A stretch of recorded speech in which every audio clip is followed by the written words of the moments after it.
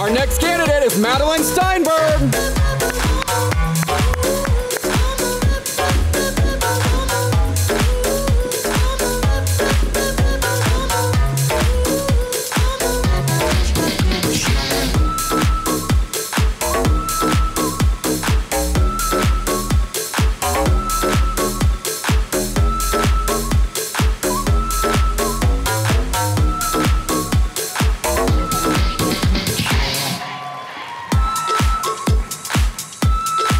All right, let's give all